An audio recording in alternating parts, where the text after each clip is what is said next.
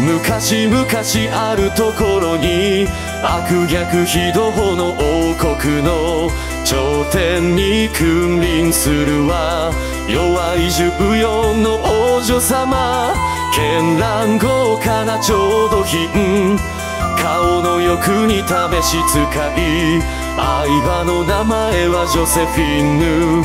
全てが全て彼女のもの。お金が足りなくなったなら愚民どもから絞り取れ彼女に逆らう者たちは粛清してしまえ。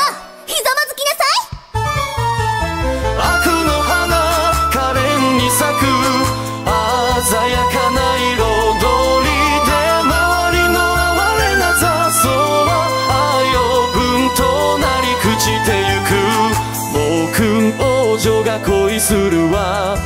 海の向こうの青い人。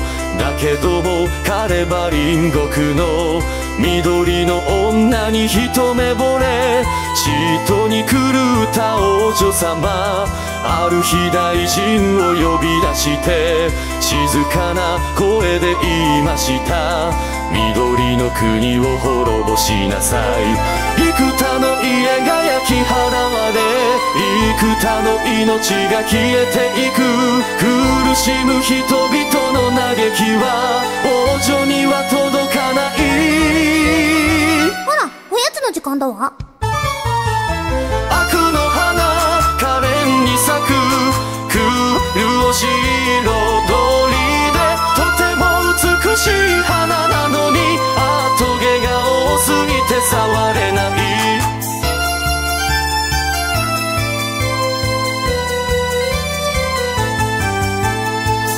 悪の王女を倒すべくついに人々は立ち上がる。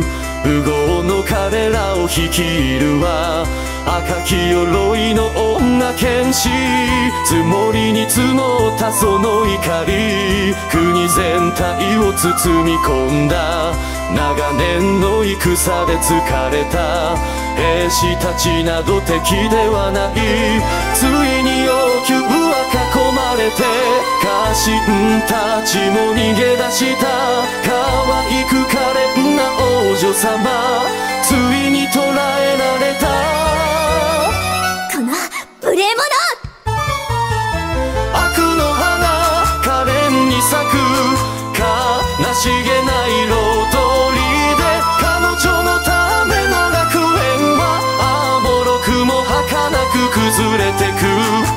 昔々あるところに悪逆非道の王国の頂点に君臨してた。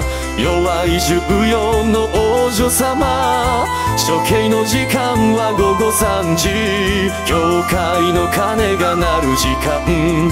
王女と呼ばれたその人は一人牢屋で何を思う？ついにその時はやってきて終わりを告げる鐘が鳴る。民衆などには目もくれず彼女はこう言った。あらおやつの時間だわ。